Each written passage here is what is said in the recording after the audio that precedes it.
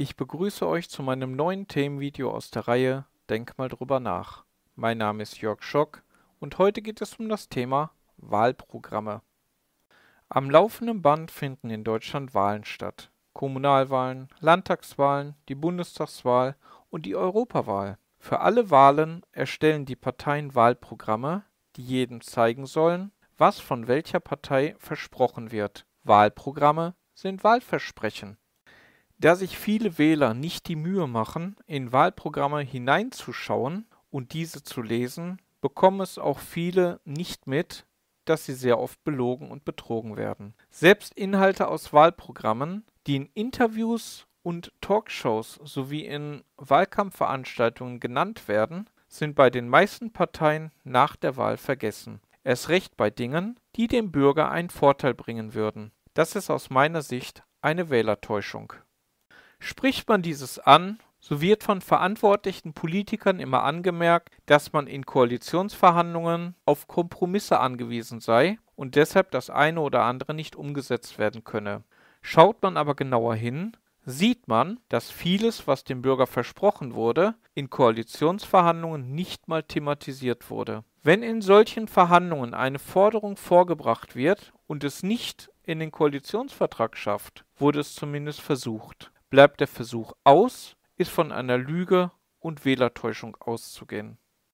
Deshalb sollte der Koalitionsvertrag kein Ergebnis einer Verhandlung sein, sondern das Abstimmungsergebnis einer Volksabstimmung. Gleiche Positionen künftiger Koalitionspartner kommen in den Koalitionsvertrag. Genauso alles, von dem nur eine Partei etwas in ihrem Wahlprogramm versprochen hat, ohne Gegenkonzept des Koalitionspartners. Gegensätzliche Positionen sollten dem Wähler vorgelegt werden, was verbindlich in den Koalitionsvertrag geschrieben werden soll. Unter dem i findest du ein Video zum Thema direkte Demokratie.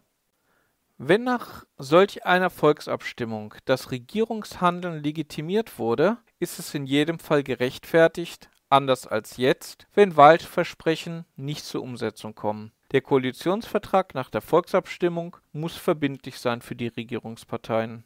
Punkte, die in keinem Wahlprogramm angekündigt und versprochen wurden, bedürfen einer weiteren Volksabstimmung. In meinem Video mit dem Titel Das AfD-Paradoxon habe ich bereits auf ein weiteres Problem hingewiesen. Das Video findest du oben unter dem i. Jede Partei hat Wahlprogramme und somit dem Wähler etwas versprochen. Auch die Oppositionsparteien. Wenn eine Oppositionspartei nicht mal versucht, durch Anträge im Parlament ihre Position umzusetzen, ist dieses genauso eine Wählertäuschung wie das Außenvorlassen von Inhalten bei Koalitionsgesprächen. Wenn dem Wähler etwas versprochen wurde und in der Abstimmung gegen die eigenen Wahlprogramminhalte abgestimmt wird, ist es ein Betrug.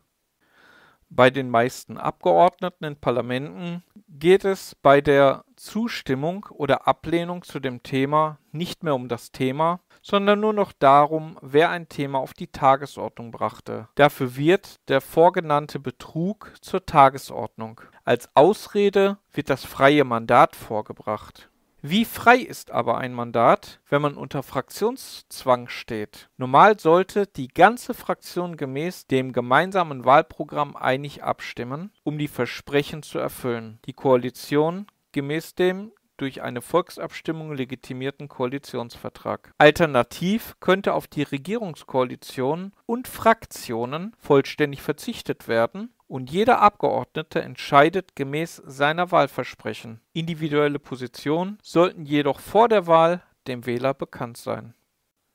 Da so viel Täuschung im Vordergrund steht, bleibt immer die Frage, wie man sich bei einer Wahl entscheiden soll. Eine Partei oder einen Kandidaten zu wählen, weil man das gewohnt ist und das schon immer getan hat, ist der falsche Weg. Man sollte sich von allen Parteien, die aussichtsreich zur Wahl stehen, die Programme zumindest in der Kurzform durchlesen. Das Parteiprogramm, welches die meisten Übereinstimmungen mit der eigenen Überzeugung bietet, sollte die Wahlentscheidung primär steuern. Alle Programme von allen Parteien haben gute und weniger gute Inhalte und auch Überschneidungen der Inhalte.